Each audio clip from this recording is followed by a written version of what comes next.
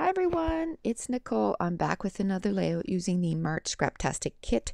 This is the 12th layout using this kit and it took me an hour and 14 minutes to complete. I'm showing you a lot of the products that came in the kit, a lot of die cuts, and um, this is a full sheet of that Simple Stories paper, that Bella Boulevard camera paper that is one of my favorite. And I'm going to do the whole thing on a aqua background I'm going to mat the photo in a deep, it's not really navy, it's more like a deep teal uh, cardstock. And I'm going to mount the photo on that. And then I'm just going to build layers with pattern papers. And a lot of it is scraps and a lot of it, a uh, few of them are full sheets of pattern paper. I'm actually working on the 15th layout right now I am down to like scrap scraps. I I'm finding it hard to uh, find scraps that are remaining that are in coordinating colors, I guess, or colors that won't clash, that will work with the layout. You know, um, there was quite a difference in the palette of colors this this time, so I don't know how many layouts I'm actually going to get done. I know I have one pattern paper that's from Basic Gray Capture Line, and it's the one actually that I'm cutting out right now, the one with the polka dots. And I have a full sheet of that, and I want to use it as a background. I have no coordinating coordinating papers to put with it, so I'll be digging into my stash and taking out pattern papers because I want to use that pattern paper. I absolutely love it, and I don't want it to be you know, put in my stash and not used for a while. I want to use it right now. So I cut down, uh, like I said, a few pattern papers. There's the one from Basic Gray, the capture line. There's this one here with the um, arrows. And then after that, I had a scrap of those polka dots. I'm going to cut a chunk of those cameras to put underneath the photos but also I'm going to cut three in a row to put at the top right and the bottom left of the layout. Okay, so if you notice that uh, I kind of lose my train of thought here and there, um, actually have to do my voiceover downstairs because I'm uh, the only one home, so I have to watch the puppy. and uh, yeah, it's like having a two year old at this point, and he gets into everything, and he just spilt a whole bowl of water, so I had to stop the recording and go clean that up. Um, yeah, it's like having a little baby around again. So I cut a chunk of that, like I said, that polka dot paper, and I used it on this layout, a chunk of those cameras, and each layer kind of sticks out in a different way. Uh, the polka dot paper, what I decided to do was the bigger chunk of it. I decide to flip it over and it's that nice, that pattern paper. I had the hardest time deciding which side I want to use because one side is a nice coral color of stripes and the other side are those nice uh, polka dots. So I just used a small chunk of the polka dots and the bigger one of the stripes because I think I used the polka dots more than I did the stripes in my layouts. I only have a little bit of that basic gray grid and I'm using it to, you know, its maximum. Now I'm using a punch, uh, circle punch, and I'm just punching half circles out because there's no way I can punch full circles out of it because all I have literally is little scraps, but I don't even want to throw away a little scrap of it. Like I want to use it all on my layout, on my layouts. I just love that pattern paper. So I'm going to, I cut out three circles for this layout. Now, um, where there is so many different pattern papers on this layout, I'm going to outline all the layers. And it just kind of, you know, gives it something in common because otherwise they look like they're disconnected. So I'm just double outlining because I couldn't draw a straight line to save my life. And I think part of it is because I stand I stand up to scrapbook. I'm not sitting down. If I could sit down, I could actually put my arm resting and and um, do the lines. But I stand up, and I really I don't mind that the lines aren't perfectly straight anyway. Like it's not a big concern of mine. So, but if you would want it to be straight, just sit down and then your arm, you'd have more control of your arm. But uh, I scrapbook standing up because because of my back. If I sit down, I can only uh, scrap maybe half the time. So I just kind of finished off the lines there. And now I'm having major issues with my ATG roll this this one. And that's one thing about these ATG rolls. They're really cheap, but once in a while you'll get one that's a pain. It just will not work the way it's supposed to. And you just gotta tough through that one roll and then you'll go maybe, you know, six to 10 rolls without an issue and then you'll get an issue with another one. So for the difference in price, you know, a dollar seventy to, you know, five dollars a roll, I'll deal with the pain once in a while.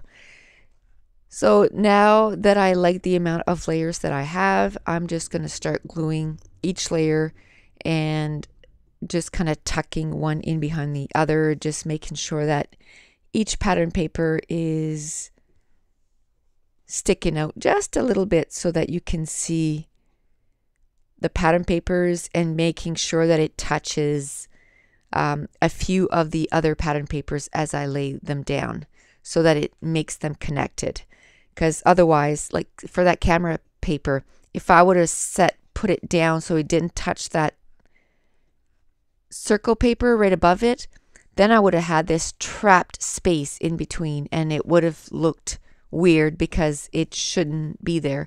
Now, if it comes to a point that your pattern paper is too small and it does that, not a problem. Just make sure that when you do your embellishments, that you choose this area as one of your embellishment clusters. And then you can cover it, and then no one will know that, you know, there's a big gaping hole there.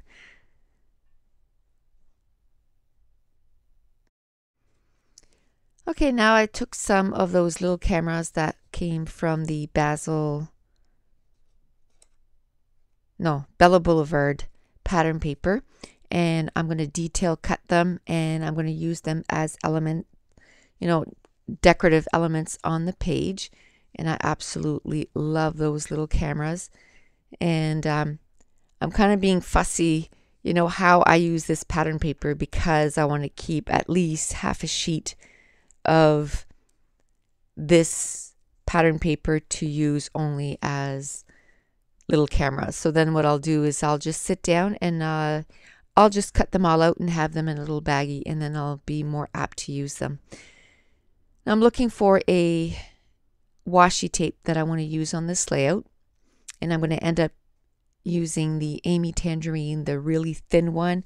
And it's a nice teal color and it works really well with these colors.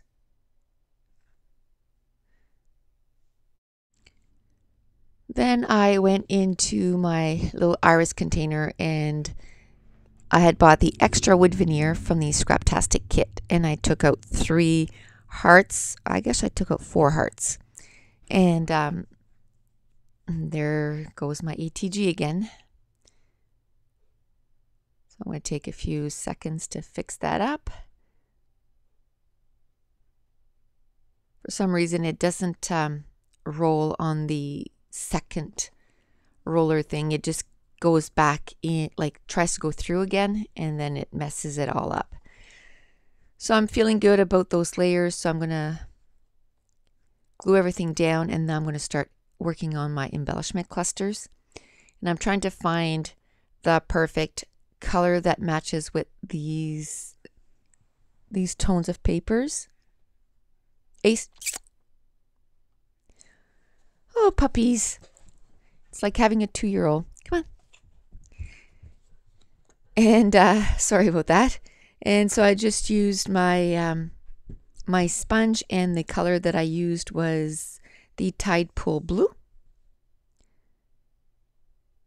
And I'm going to use that basil paper as a layering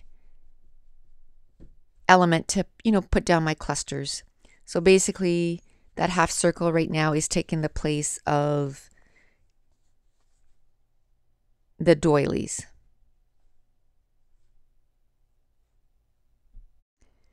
Okay, so hopefully he'll be good for a while. I had to stop the recording again and take him outside. So hopefully he'll go have a nap or something.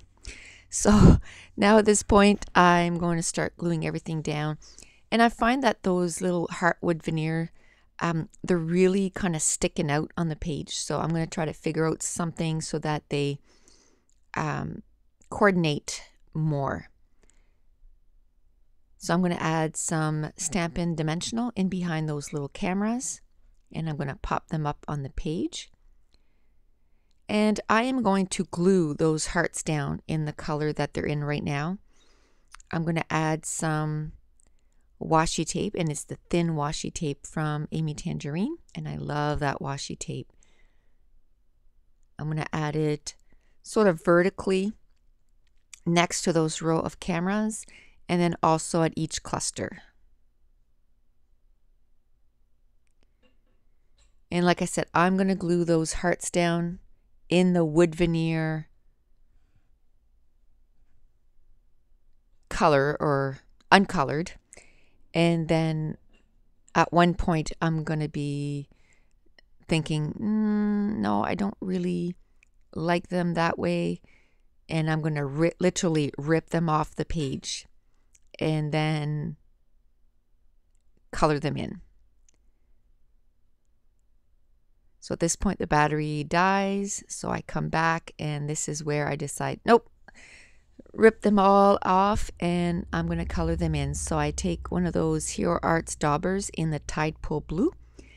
And what I do is I take a Stampin' Block and I put a little bit of um, this to that dot adhesive and I glue them down because there's nothing that I dislike more than chasing um, embellishments around when you're trying to dry them up. So I usually glue them down because I, like I said, I don't like chasing stuff, and and then it ends up falling on the floor, and then you get, you know, so I tape them down or glue them down temporarily, and then they're easy to um, dry up. And at this point, once they were dried, I took some liquid glass from close to my heart and and the only thing that you need to remember is to set them aside because it does take um, up to a couple of hours until they are, you know, completely dry. But I love that look. It turns anything into like an epoxy uh, looking sticker or not sticker, but element. So again, I'm trying to use up those Amy Tangerine stickers and this one says, here we go. And then at first I take the Elle's Studio um, little aqua font, but I find it doesn't stick out enough. I'm going to try to use these stickers that we got. Actually, it was in a Studio Calico kit but it's just too big. I had all the letters that I needed to make the word I wanted to, but it was just too big. It wasn't going to fit in that allotted area that I had left. So when I glued my pattern papers together, I was thinking about, about my title and I knew I wanted to put my title on that diagonal stripe pattern paper to the right of the layout. And I like doing that. I like putting my titles to the side of the layouts. Um, and, you know, just for something different instead of always on top or, you know, on top of the layout or on the bottom. Once in a while, I like to do it on the side of the layouts. I think I've done it quite a few times uh, this time around. I guess I got tired of my layouts, you know, having the title always in the same spot. So this is a picture of my daughter, and we were at um, the Nationals in Niagara Falls. This was three years ago, and um, anyway, she we were just standing there waiting for uh, to go for practice or to go somewhere. And I said, "Can you do that thing where, you know, you kind of take your leg and you lift it right up behind your head?" and because every time she does this, she's up in a pyramid and it, it just, or up on, you know, someone's lifting her and doing this. And it's so fast, and I don't really have time to take really, really good pictures of her doing this. So I said, Can you just do it right here? And she said, Right here in the hotel lobby? And I'm like, Yeah, it's all cheerleaders. So, anyway, she did it. And um, so I always, you know, think to myself or say it out loud, Here we go, just like a pretzel. Because that's what she reminds me is like when she does that, she just looks like she's a pretzel. She can, you know, make her body do stuff like a pretzel kind of thing. And uh, so that's the entire time I was doing this layout. That's the the thought that I had, you know, here we go, just like a pretzel. So I figured that's what the title was going to have to be. And now I'm looking for some enamel dots. I looked at the enamel dots that came in the kit and the blue was just too different. So I decided to go in my stash. And these are from We Are Memory Keepers and they're kind of cool. They have uh, geotags, triangles, hearts. So I just took the regular enamel dots and uh, one of those enamel hearts, and then I decided to use the Teresa Collins tiny letters, tiny sticker letters, and I like them more than I did the Elle's Studio. I just found the Elle's Studio one, they just kind of, not that they blend it in the background too much, but they just didn't pop enough. And I wanted, again, you know that I like having different looking fonts. So I had a scriptive, a very blocky, and then I wanted some, um, those square letters, you know, that in, in those, um, the way that they, they look, they're sort of like the mini market look.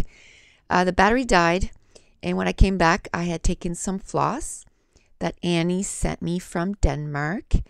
And I still have a bit left to use, so I want to make sure that I use it. So what I do is I cut it in a, you know, yeah amount or length, and then I there's usually six strands to a floss, so I'm going to separate it, and I'm just going to mess it up. And then what I do is I take my quick dry adhesive put on my finger and then spread it around on the pattern paper and then glue it down. And it works really well instead of trying to figure out how to glue those because they're so fine and thin. And then um, I did, while the battery died, I went and got one of those stickers from the Amy Tangerine uh, plus one sticker that came in the kit. And I put it right beside the picture, and it looks like, I don't know, like twirlies and it again reminded me of pretzels, so I wanted to put that right next to the photo.